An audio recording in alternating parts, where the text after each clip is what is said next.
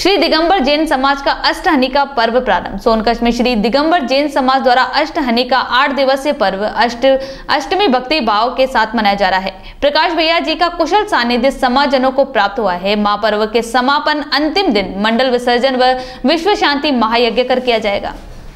इस महापर्व पर मंदिर में श्री जी के सामने आकर्षक रंगोली के रंगों से सिद्ध चक्र महामंडल विधान की रचना करके मंडल विधान पर श्री जी की प्रतिमा को विराजमान किया गया।